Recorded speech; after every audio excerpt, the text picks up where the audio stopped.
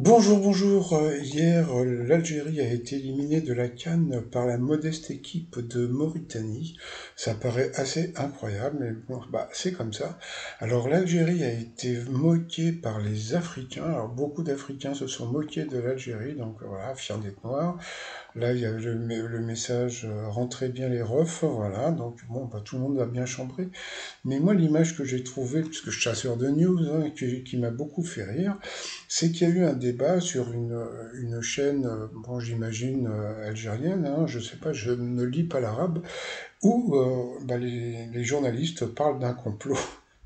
Et ce qui m'a fait le plus rire, eh bien, c'est que bah, ils disent que euh, bah, c'est à cause d'Israël.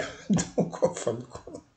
Donc, euh, l'Algérie éliminée de la Cannes à cause d'Israël. On aura tout vu. Bon, allez, pour vous abonner, c'est en bas à droite. Bye bye.